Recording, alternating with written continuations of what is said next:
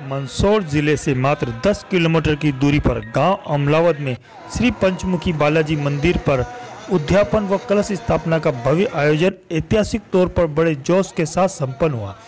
कार्यक्रम में कलश स्थापना के दौरान हेलीकॉप्टर से पुष्प वर्षा की गई। आसपास के रहवासियों भक्तगणों का कहना है कि ऐसा पहली बार हुआ कि ऐसे धार्मिक आयोजन में हेलीकॉप्टर से पुष्प वर्षा हो। हेलीकॉप्टर से हुई इस पुष्प वर्षा को देखने के लिए गाँव में छतों पर भारी संख्या में लोग देखने को मिले। गाँव में लोगों ने छतों पर चढ़कर हेलीकॉप्टर से हो रही पुष्प वर्षा का आनंद लिया। मंदिर उद्यापन व कलश स्थापना के इस कार्यक्रम में हज़ारों की संख्या में श्रद्धालुगण शामिल हुए।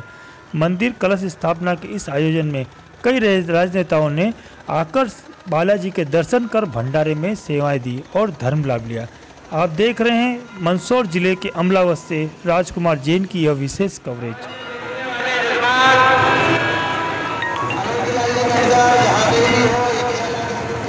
पंचमुखी बाबा